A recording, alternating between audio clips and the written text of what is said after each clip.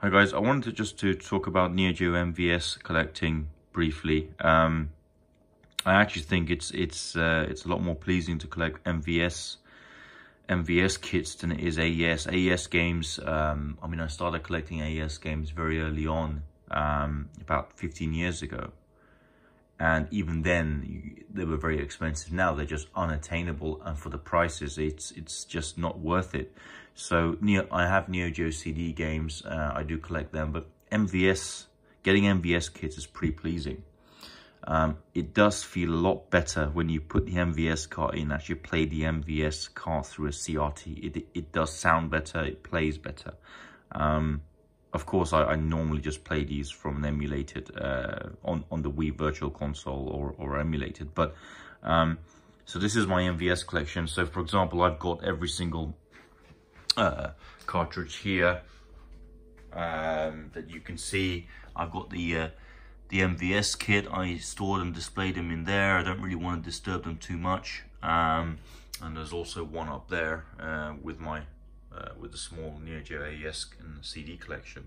Um, however, these are the the complete kits I've got. Um, this one is uh, Metal Slug 4, World Soccer 96, King of Fighters 2003, um, Samurai Shodown 5, Shock Troopers only came out on the uh, on the MVS as far as I know.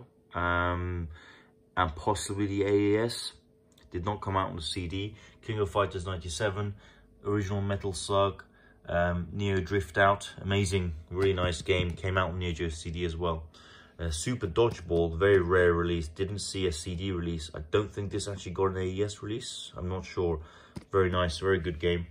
Goal, goal, goal. And um, Metal Slug X, which is a, a rehash of the original Metal Metal Slug 2. Uh, this came out on the AES as well. Didn't come out on the CD. Um, and this has got the special blue card. So I actually bought this one from neostore.com.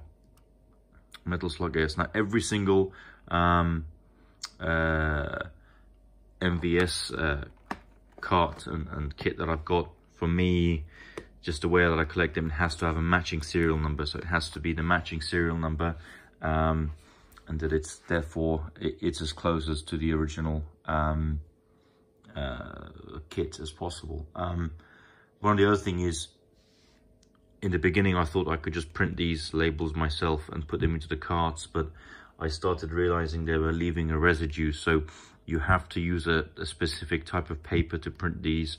I actually just get these um, shock boxes and the the inserts printed through Southtown Homebrew in the US and they just ship them over. They, they use the correct paper, the correct ink and it doesn't leave a residue and I would recommend you use them. Um, I think it's like $3 to print uh, and the, the, the shock boxes are $12 each. So just get, get a load of them from there and get them sent over uh, and you can display the games in the in the shock boxes and they look absolutely brilliant um, you know it's it's so nice to have these on display and be able to just take one out and I just insert them into a uh, into a CMVS that I've got down here um, and here it's just under there and I can just play them on my CRT uh, the next game I've got coming is uh, Street Hoop where I've uh, I've already uh, jumped the gun and uh, got the shock box already waiting for the game to arrive. So hopefully that will come very soon. So I just wanted to show you my quick, uh, my, my brief and very small um, MVS collection. Let me know uh, if you're into MVS or Neo Geo collecting. I think a few of you are, but yeah, it's it's stuff that I can't get rid of. It's, it's I've been collecting some of these for at least 10 years and I just, I have stopped for a while. I haven't bought one of these for about five years, but recently just found a nice copy of Street Hoops, which I'll be which I'll be uh, showing when it arrives as well. Thanks everyone. Cheers.